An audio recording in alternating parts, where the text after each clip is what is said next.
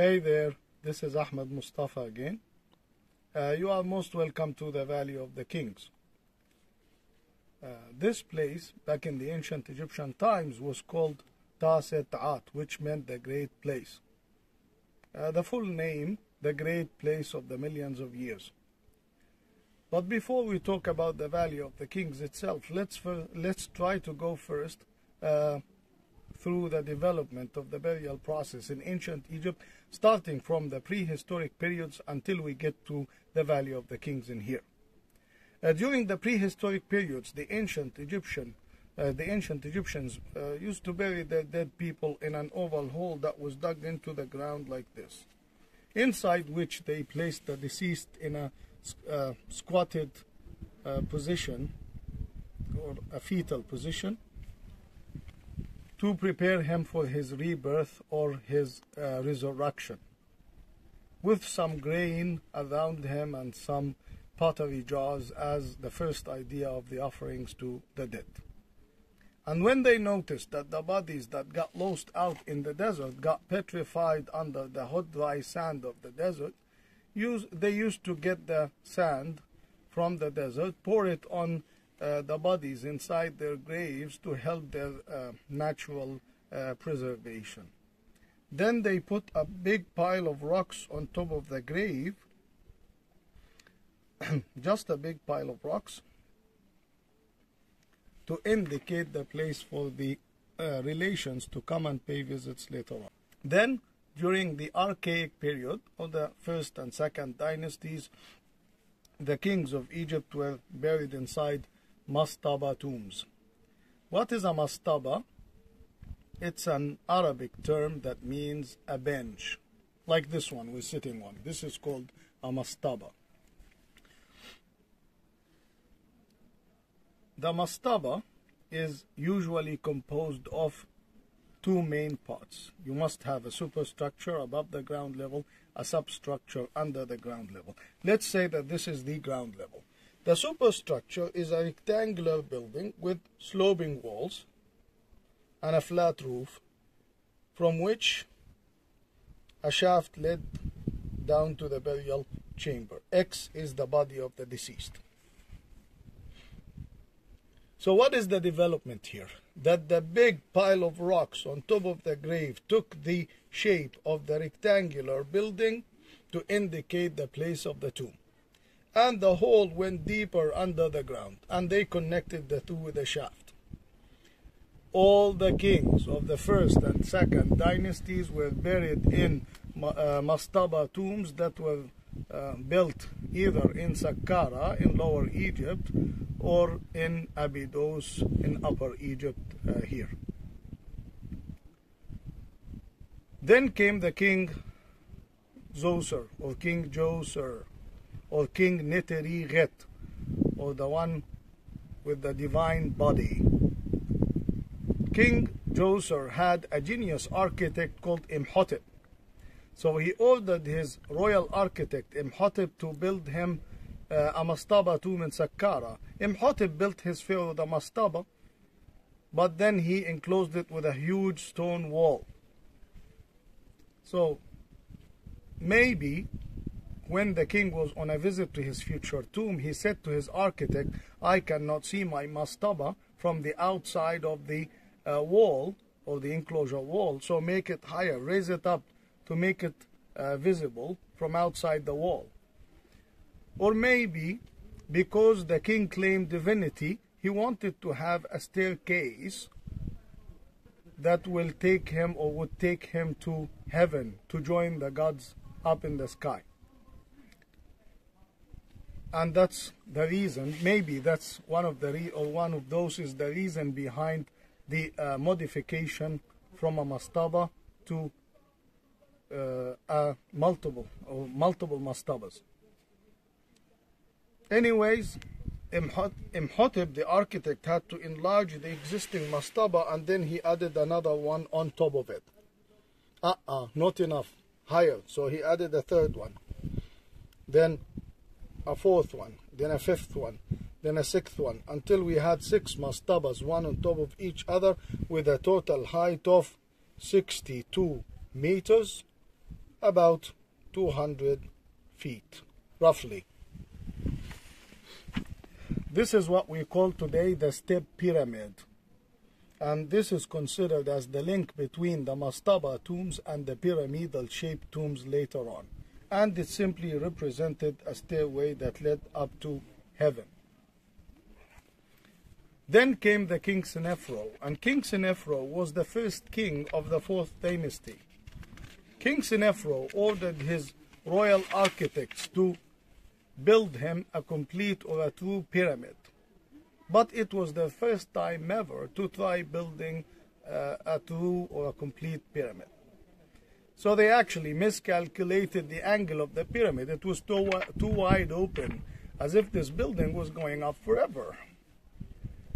To finish it, they had to modify the angle halfway up to have less weight added to the uh, pyramid on the top because they noticed that the structure started cracking at the bottom because the nature of the bedrock in Dahshur was too weak. It could not take such an enormous weight.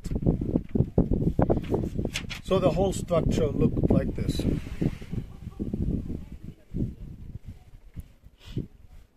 They started with a 54 degree angle and then to finish the building and have less weight added on the top, they modified the angle to 43 degrees. Of course, this is what we call today the bent pyramid. Of course, the king was not content. What the heck is that? I wanted a true pyramid and you give me a bent one? No. Start all over again. So, one mile away from the bent pyramid, they had learned their lesson and they started from the beginning with the 43 degrees angle, giving us the first complete pyramid in the ancient Egyptian architecture known today as the Red Pyramid of King Senefro in Dahshur. It is called the Red Pyramid because of the color of its casing. It's made out of a reddish kind of limestone. If you ever visit Saqqara, look south and you're to see those two giants out in the horizon. They are built by King Senefro in Dahshur, 10 kilometers to the south of Saqqara. Then all the kings of the fourth dynasty, Cheops, Khephren, Mykerinos, they were all buried in pyramidal shaped tombs that were built on the Giza plateau to the west of Cairo. Tombs are mostly located on the west. But those pyramids, why the pyramidal shape was so sacred in the ancient Egyptian mythology in general? Because they believed that this is the sun got up in the sky and this is earth. So the rays of the sun would come down to earth in the shape of a pyramid. It is so clear in Egypt when it's partly cloudy and you can get to see the sunlight shimmering down through the clouds, forming beams of light that form a giant pyramid of light connecting the earth with the sun, or the sun down with the earth.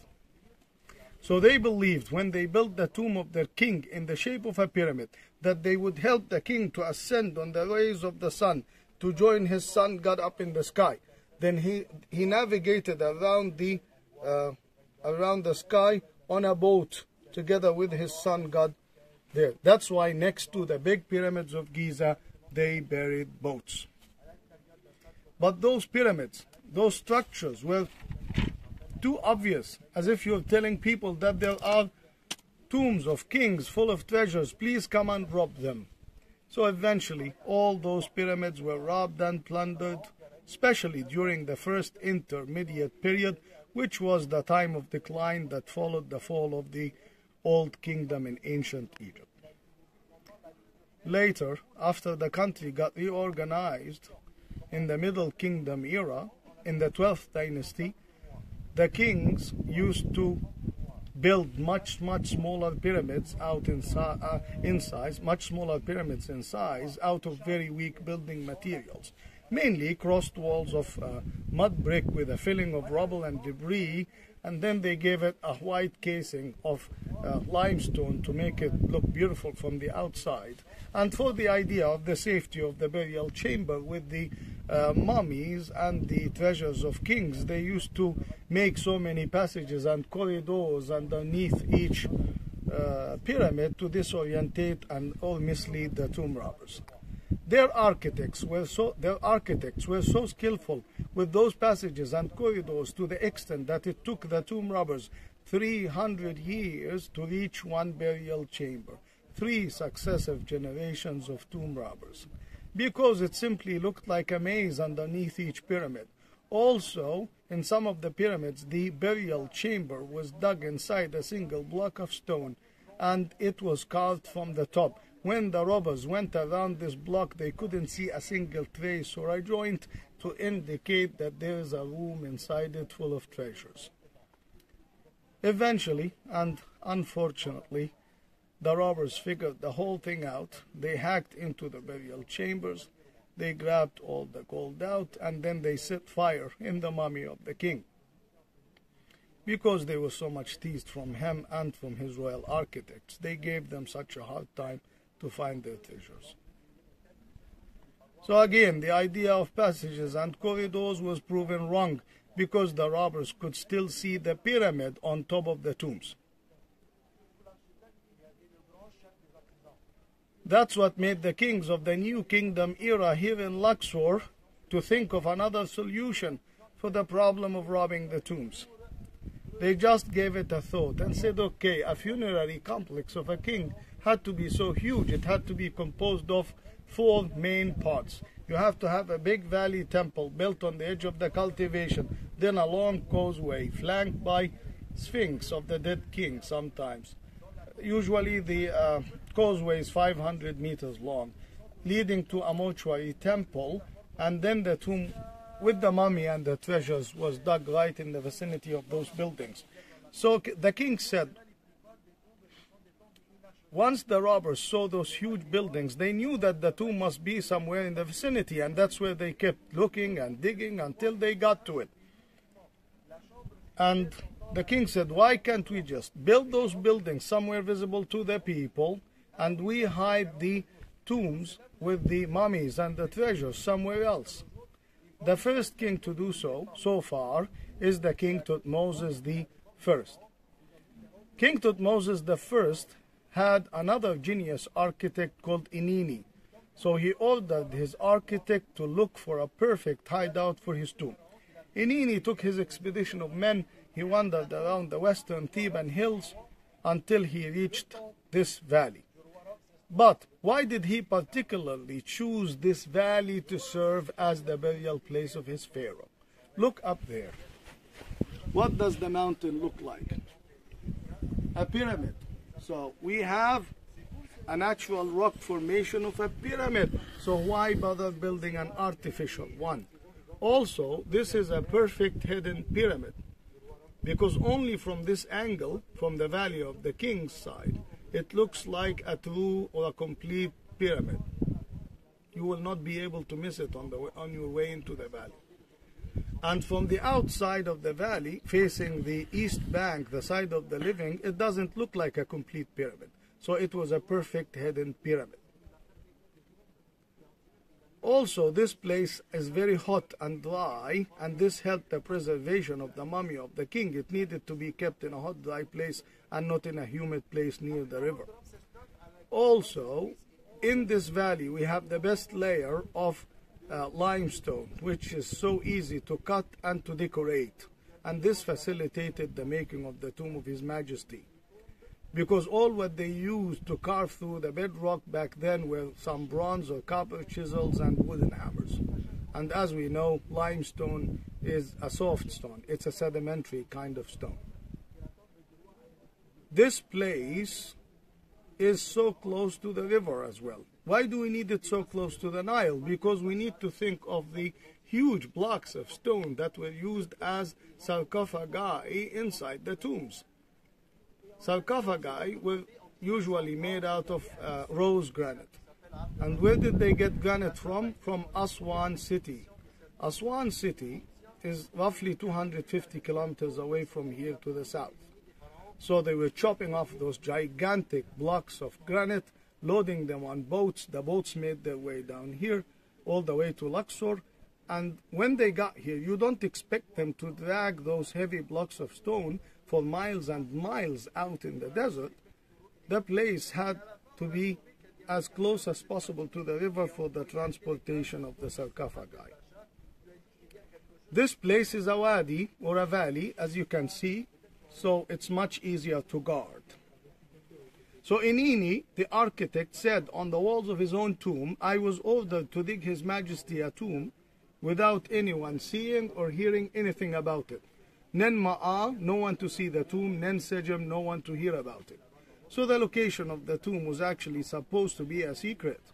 Originally, it was a very simple plan to come here in secrecy, dig His Majesty the tomb. Whenever the king died, he was supposed to be entered. The tomb was supposed to be covered up with rubble and debris to make it look natural and never set foot here again. But of course they were wrong because they had hundreds of workmen, artisans, stone cutters, plasterers, painters participating in the making of the tomb. At least one or two of them could easily reveal the secret. Also, after the workmen themselves saw that huge amount of gold getting buried out in the desert without any guards or any protection, they used to come back after the whole thing was done, easily identified the location of the tomb because they simply worked on it for years and years and they reopened the tombs and they grabbed all the valuables or the treasures out.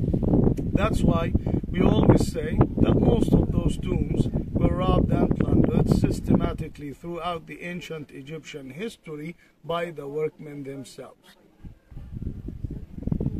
Apart from the tomb of the king, Tutankhamun, that was found nearly intact. Because there was an attempt to rob his own tomb by his own workmen. But thank God that the robbers were caught and the tomb was reclosed until it was discovered or rediscovered by Howard Carter in 1922. Uh, Sometimes you get the question, by the way, why didn't they kill those workmen after they finished the job? Another simple question who would have worked for the following king? You see the dilemma. Also, such expertise of skillful workmen was so hard to pass down from one generation to the other. That's why it took them like a lifetime to transfer such skills. That's why in ancient Egypt, a son of a builder became a builder, a son of a painter became a painter, and so on. Thank you.